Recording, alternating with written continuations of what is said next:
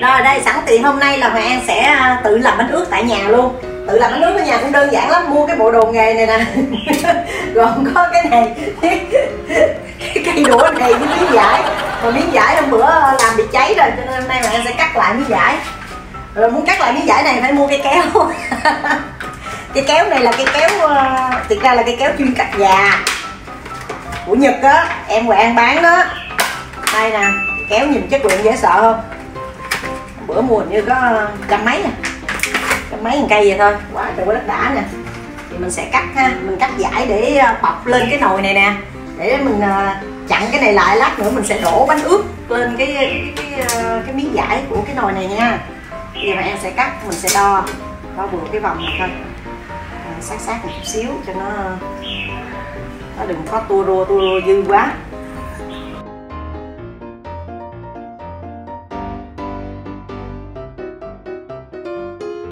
Rồi sau khi ờ, cắt được miếng vải vuông thế này rồi á, thì chúng ta sẽ phủ lên cái nồi và chúng ta gắn cái đai này lại ha, tạo một cái lớp ờ, lớp mặt bề mặt ở trên này vải mỏng mỏng á, để chúng ta đổ bánh trên này. Thì trước khi mà mình làm bọc cái miếng vải này vào á, thì mình sẽ đổ vào đây ờ, một ít nước. An thì đổ khoảng 1 phần ba thôi không có cần đổ nhiều. Tùy theo ha mình làm nhiều bánh thì mình bỏ nhiều nước vào đây tại vì nó sôi thì nó sẽ cạn. Bánh nó chính là nhờ hơi nước bốc lên mà. Đó mình sẽ trùm cái, à, cái miếng vải và cái đai này bịt lại giống như là mình căng khung căng khung để thêu vậy đó. Ấy trời bây giờ mà em sẽ à, con lại. Kia nó dư quá rồi rồi bây giờ mà em sẽ à, trùm vào đây xong rồi thì mình sẽ siết lại. Đây nó có một ốc nè mình có thể dùng cây vít để mình siết chặt lại ha cho nó đừng có trượt. Nó giữ miếng vải này được chắc. Mình làm thì nó sẽ không bị thủng thủng thủng lại. Đó, mình lưu ý nha mình vừa căng căng căng cái miếng vải này ra mình vừa siết nha. Đó. Sau cái đợt dịch này tôi ờ, nấu ăn giỏi lên dễ sợ chắc là tôi có thể mở quán được rồi mọi người ờ, có ủng hộ bạn không? Thấy làm lộng cộng quá không biết mở quán làm sao ha.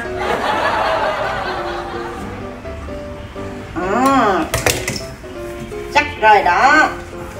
Rồi mình sẽ bắt lên bếp để nấu và mình đổ bánh luôn. Rồi bây giờ chúng ta trở lại cái phần làm nhân của bánh cuốn ha. Thì uh, mẹ ăn thì mua sẵn thịt xay ở ngoài siêu thị như thế này. Bây giờ mẹ sẽ đem nếm vào đây mỗi thứ một ít một ít thôi ha. Mình sẽ bỏ vào đây một ít muối. Bỏ vào một ít muối nè. Rồi uh, một ít bột nêm. Đó. Một ít bột ngọt xíu thôi.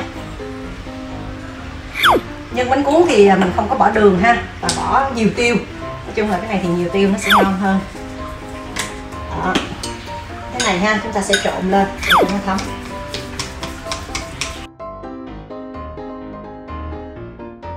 Hoàng thì không có ướp uh, hành tỏi gì vô đây ha. Tí xíu nữa mà anh sẽ phi ở ngoài làm cái nhân nó sẽ thơm hơn.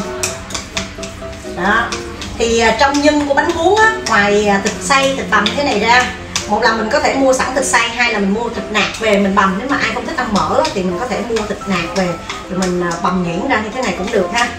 Thì trong nhân của bánh cuốn á, ngoài cái thành phần mà thịt xay như thế này ra thì chúng ta còn bỏ vào đó có thể bỏ vào là củ sắn nè hoặc là nấm mèo nè. Rồi à, bây giờ mà anh sẽ chuẩn bị ha. À, chuẩn bị cái phần nhân cho cái bánh cuốn này nha. Đây củ sắn củ sắn mà em sẽ bào như thế này. Bào sợi ra xong rồi mình cắt lại.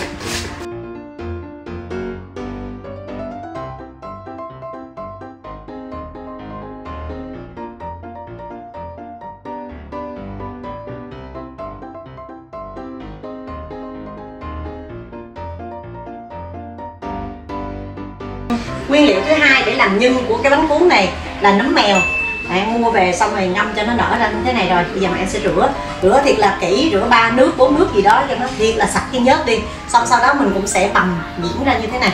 Rồi à, lát nữa mình sẽ à, xào lên chung với à, thịt xay và củ sắn luôn ha. Rồi nấm mèo mình đã à, rửa sạch rồi để ráo rồi. Bây giờ em cũng sẽ băm ra luôn. Nhuyễn ra để mình xào chung với thịt và củ sắn nha.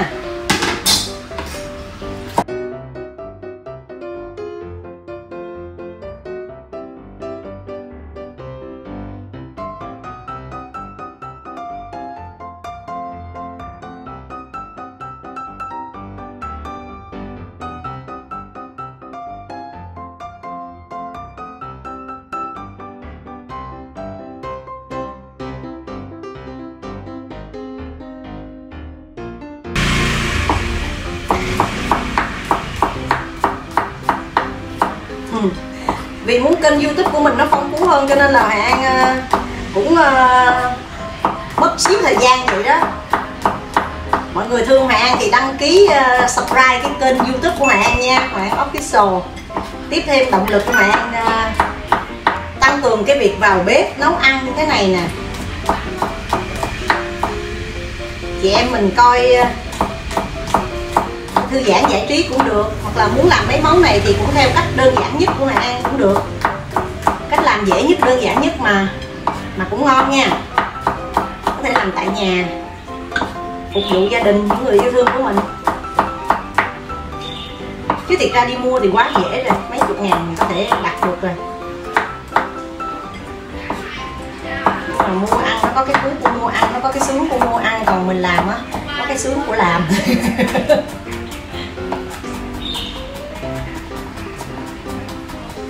rồi, hành tỏi mình băm nhuyễn thế này rồi ha.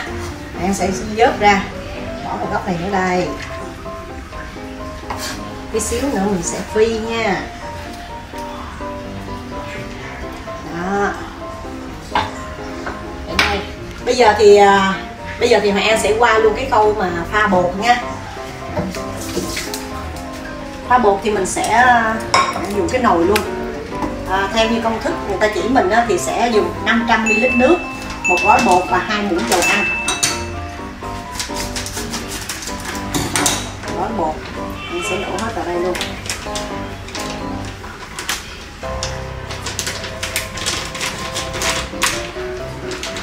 Đó mình sẽ bỏ vào đây.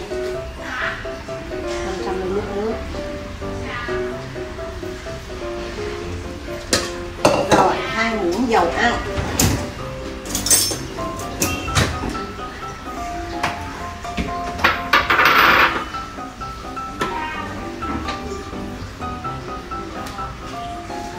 một muỗng nè.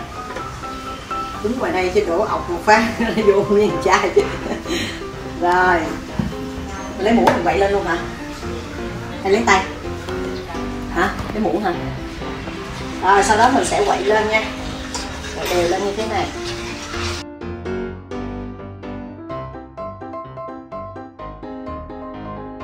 Sau đó mình chờ cho bột nó ờ, hòa tan lại. Và bây giờ mà em sẽ đi xào nhân nha. Đây, bột mình pha xong như thế này rồi mình sẽ để qua một bên. Mình sẽ bắt đảo lên để xào nhân lúc này.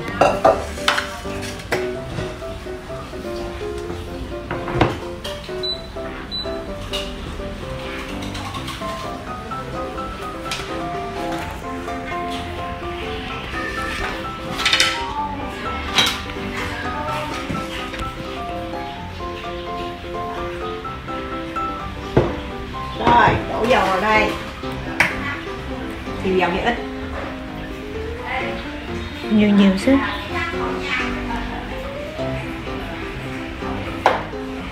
ok.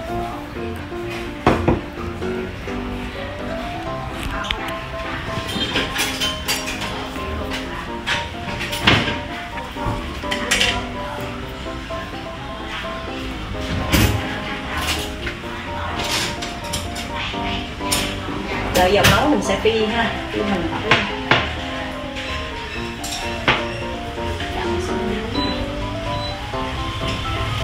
rồi, dầu bây giờ đã nóng rồi đây, mẹ sẽ bỏ hành tỏi vào mẹ phi nha.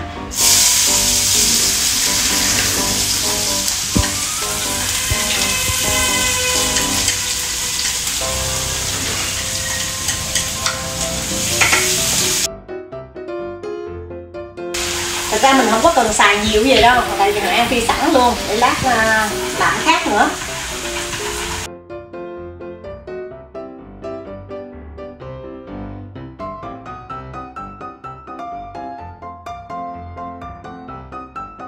Thực ra mấy món này trước giờ mà em chưa từng làm đâu nha, mà hôm nay à, được nhà em chỉ làm á, cho nên là hướng dẫn làm cho nên là em làm, ăn chơi rồi quay clip cho mọi người xem chứ em không có dám là hướng dẫn chị em mình nấu ăn đâu. Những chị em mà nấu ăn giỏi hơn á có thể vào xem clip rồi à, góp ý thêm cho mẹ An rút kinh nghiệm ha. Để kỳ sau uh, mẹ sẽ làm được ngon hơn. Hoặc là những chị em khác á những ai mà muốn uh, học hỏi làm những cái món này á có thể ờ, có thêm nhiều cái kinh nghiệm hơn. Nhiều kinh nghiệm quý báu hơn từ những chuyên gia ẩm thực. Ha chứ thằng An thì ờ, thì biết làm gì để ờ, nhà ăn thôi. Như là cháy nữa, nó ra, nó còn cháy nữa. Anh sẽ bỏ bớt ra đây phân nữa nó cần xài cái nhiều rồi, mình chỉ cần xài nhiêu đây thôi. Bây giờ em sẽ bỏ thịt xay vào.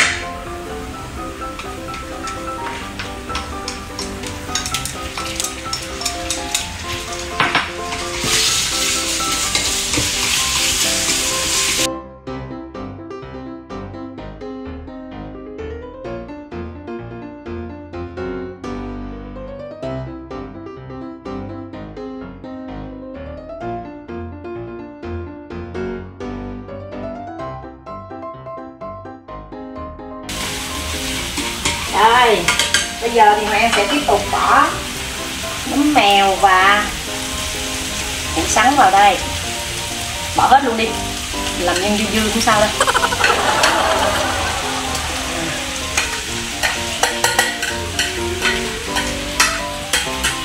Nhân dư dư mai là bánh bao.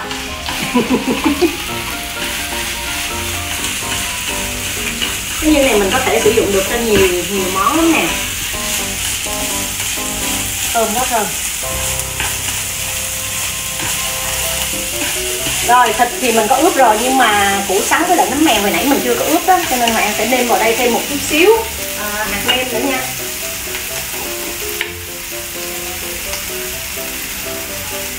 Nêm vào khoảng hai muỗng hạt nêm.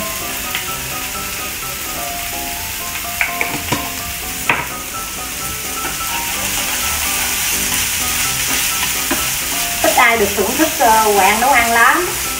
Trước giờ là chỉ có thằng trương ba mẹ ba mẹ cũng ít sau này lấy chồng rồi mới biết nấu ăn. Lúc mà lấy chồng xong mới biết nấu ăn. Thì không có ở với ba mẹ nữa. Cái lúc đi dị đi về nhà ba mẹ ở thì lúc đó phải đi làm kiếm tiền nuôi con, cũng có nấu ăn luôn. Ui thơm quá mọi người ơi.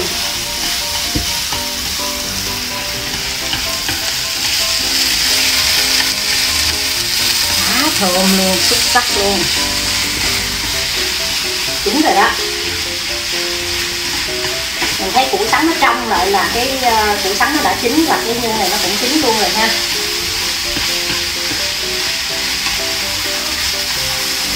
Rồi cái bột sau khi mà mình pha xong á mình để cho bột nó nghỉ ngơi nãy giờ đó thì à, bây giờ mình sẽ bắt đầu bắt cái nồi nước lên để mình đổ bánh nha. Đây con đang cắt quạt chị ra. Đầu lắm. Đây, bây giờ mà em sẽ đổ bánh cho mọi người coi nha. Mình lấy một muỗng vậy thôi. Ấy kháng ra như thế này. Mày lắp lại. Uhm. rồi, sau đó thì à, bột được rồi là chúng ta sẽ bỏ cái à, nhân mẹ thì sẽ à, đổ nhân trên cái nồi luôn rồi cuộn bánh cuốn ở trên đó luôn, chị lấy ra đây thôi. Đây, làm thử được. Mấy cái rồi. Hai cái rồi. Và công đoạn cực kỳ quan trọng nữa đó là pha nước mắm, pha nước chấm. Bánh ướt có ngon hay không là nhờ nước chấm nha. Và đây là những đầu bếp thứ xịn đã tới rồi. Để phụ quan làm nước chấm. Rồi. Mình sẽ bỏ nhân vào đây mình ít nhân thôi. Nhiều cũng ngán ờ, lắm rải ra như vậy ha. Xong cái ờ, cái cây đũa này lúc nào mình cũng ờ, cũng nhúng vào nước nha. Và đây. Mỏng ghê không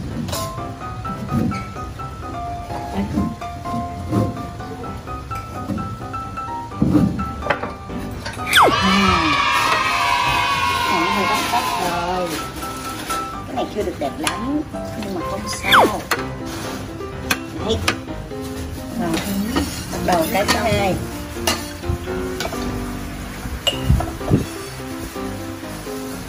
cái bột ngọt mà. Cái uh, giá của mình nó hơi bị uh, mình chỉ cần đẩy nhanh qua vậy một lần thôi. Đó để rồi mình đẩy nắp. Bí quyết của uh, cái cách mà làm bánh cuốn này mọi người biết nằm ở đâu không? Chút xíu nữa An bật mí cho chị em mình nha. Nhiều người làm hư lắm không hiểu lý do tại sao á. Còn Hoài An thì biết cho nên là Hoài An sẽ bật mí cho chị em mình biết luôn ha. Một thường lượng vậy là chín rồi đó đúng không? Lẻ lắm vậy là chín rồi ha? Chín lâu rồi. Ủa gì vậy? Mới bỏ vô đó. Ủa vậy hả? Ủa vô chín liền. Rồi mình sẽ bỏ nhân lên. Đây. Nhân người nãy nêm quá trời ngon luôn rồi quá trời vừa miệng luôn rồi. Ở ngoài người ta bán người ta bỏ nhân nhiều như mình không ta? Ở ngoài người ta bán người ta bỏ nhân nhiều như mình không? Vậy chắc không cái cuốn ba không có một. Còn một tấm màn nữa. Xong rồi đó. À, hoàn thành một cái nữa rồi mọi người ơi sẽ ra luôn. Đây. Tiếp tục cứ vậy mà làm thôi. Mỗi đứa ăn mấy cái nói nè, để chị nhắm nè.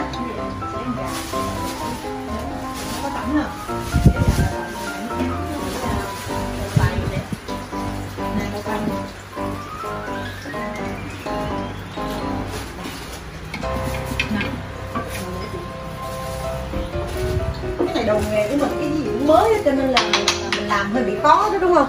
Chứ cái miếng vải nó cũng cũ cũ rồi cái này nó cũng cũ cũ thì ờ, cây nó cũng cũ cũ thì làm nó sẽ dễ hơn. Cái gì cũng cũ vô đó. Cái gì mới nó cũng khó hơn hết ơi. Cột cái cột. Trời sản phẩm ra nhanh lắm. Vậy mới kịp chứ khách đồ vô ví dụ như kêu mười gì á. Nè, coi nè coi trong cô trình làm tủ lạnh nè nó rất là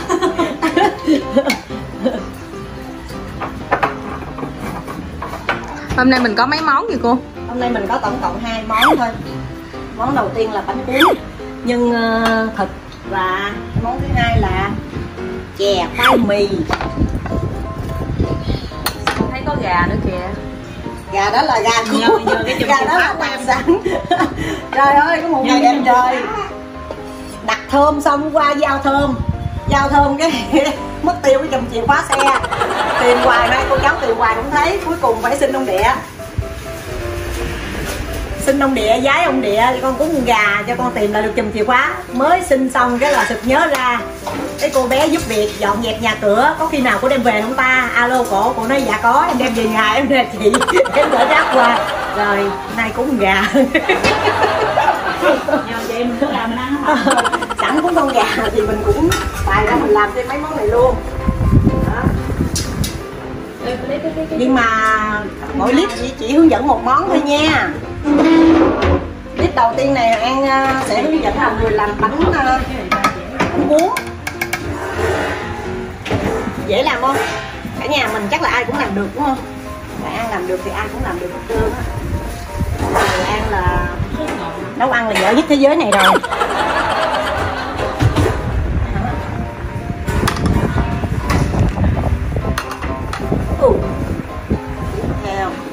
Mình cứ gạt hết mấy cái bột dư này ra nha. Đây bí quyết nằm ở chỗ này nè cả nhà mình ơi chị em mình ơi bí quyết nằm ở chỗ cái khuôn vải. Cái khuôn vải của cái này mình chúng ta phải đục một cái lỗ nha. Đây đục một cái lỗ như thế này. Đó và khi đậy nắp thì chúng ta cũng đậy luôn bít luôn cái lỗ đó mình bấm cái lỗ cho nó phát hơi nước lên. Chứ không thôi miếng vải mình sẽ phồng lên rồi nó trồi nó nó, nó trồi bột nó tràn hết ra ngoài hai bên mà mình không đổ được cái bánh mình lưu ý ha mình căng vải ra xong mình bấm một cái lỗ như vậy. Và khi mình đổ bột á thì mình tránh cái lỗ đó ra. Xong rồi mà khi mình đậy nắp thì mình đậy luôn cái lỗ đó lại. Đó là như vậy là bột của chúng ta sẽ rất là mau chín nha. Mua một mét, xài một miếng Rồi còn bánh ướt muốn ngon thì chúng ta sẽ ăn với giá trụng đúng không? Thì bây giờ á, mình sẵn cái nồi mà nãy mình làm bột bánh á. Bây giờ mình bỏ giá lên luôn. Bỏ giá lên trên này luôn Đó, mẹ sẽ bỏ vậy luôn nè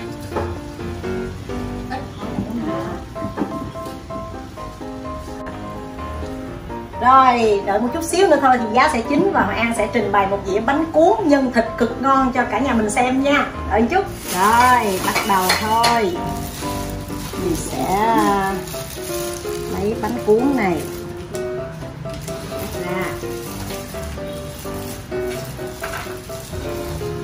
hồ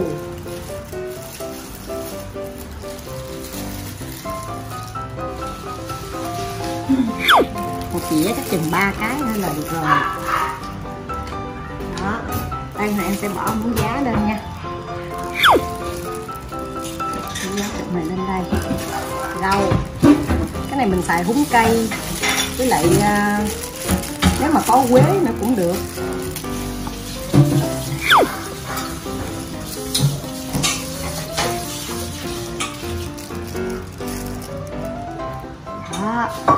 Rồi, mình sẽ bỏ chả vào đây. Thật ra thì à, mình thích ăn à, bạn thì thích ăn chả chiên hơn. Nhưng mà hôm nay thì mua được chả quế với chả lụa.